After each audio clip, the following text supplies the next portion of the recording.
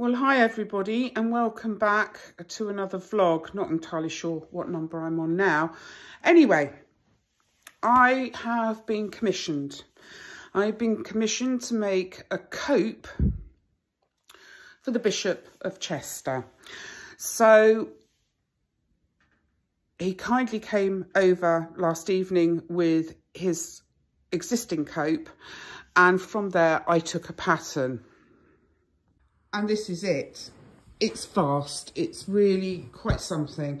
And at the moment, I am just gluing together two sheets of spot and cross with some tacky glue and then I will tape it down and I don't know whether you can see but the markings are here roughly around the exi his existing cope so he's asked um, he's came, came up with the idea that he'd like a lightweight one and not only lightweight but reversible. So all fun stuff to deal with. I have a finite amount of time in which to create this um, cope and it is it's it's vast because it's the full length of his body and it drapes around his shoulders and it fixes across the front here and also there's a stole to be made to go with it. And I've just got a, a section here that I need to deal with. You. Um, it's really quite a privilege to do this, but what I haven't got, I've got so much to think about before I can even start cutting the fabric out. The way it goes is there's a whole width panel in the middle of fabric and then there's fabric for the outer sides and those have got it's all got to be seamed and pressed but I've got to do it twice over. It's not lined it's all got to be even and the idea is I'm going to bag this out and I don't know how that's going to go but I will give it my best shot and hopefully we'll come out with something that's looking really quite exceptional So the next job I've got to do is I've got to trace the cross multiple times. So what I've done is I've stuck it to the glass and now I'm going to overlay it with this uh, Bondaweb. And what I'll do now is I'm going to trace that on.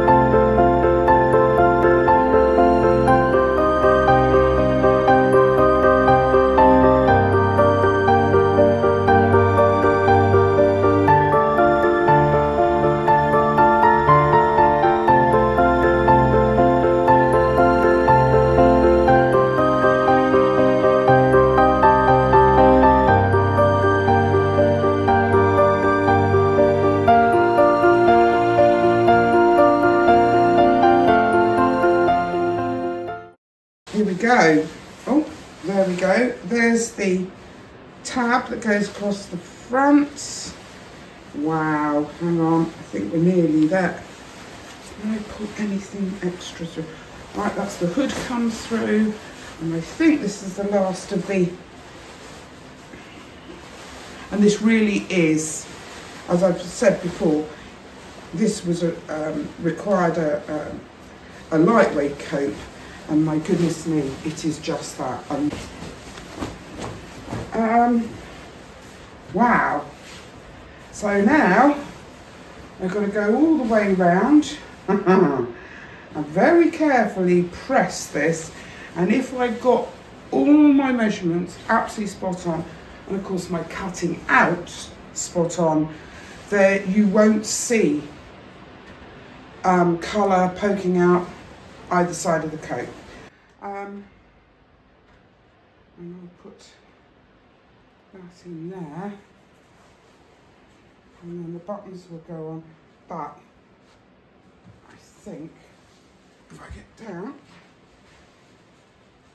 Oh yes. Oh yes yes yes yes yes. Yeah. I think this is going to be a triumph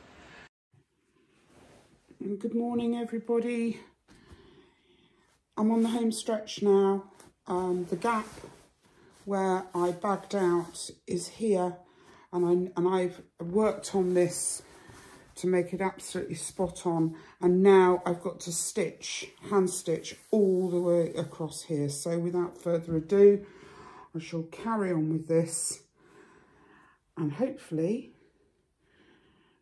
at the end we will have one rather beautiful cope.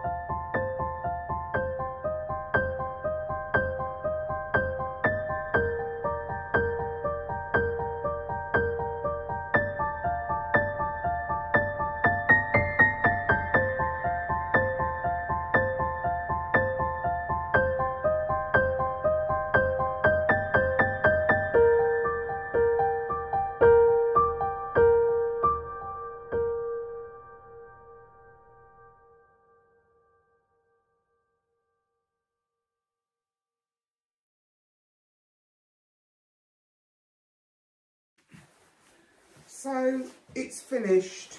The cope is finished. Um, I'm just going to give it a shake out.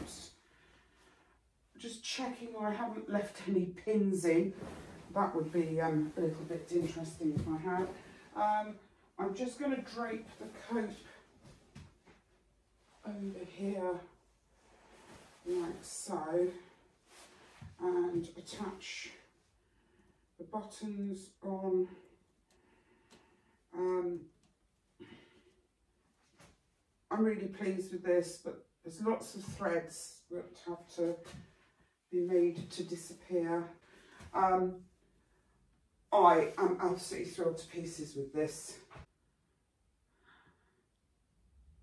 This has been a very special make for me. In the middle of March, my mum went into Gloucestershire Royal Hospital and sadly she didn't come out.